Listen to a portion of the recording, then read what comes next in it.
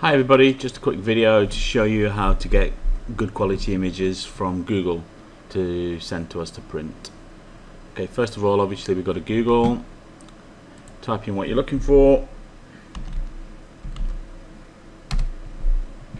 go to images, go to search tools, got a size, large, we want to select the large size that will then return us all these images here. In theory are good enough for us to print. If you look at here you see the size of the image. This one's 920 by 1440 920 by 1200 920 pixels by 1080 which is good enough for us to print.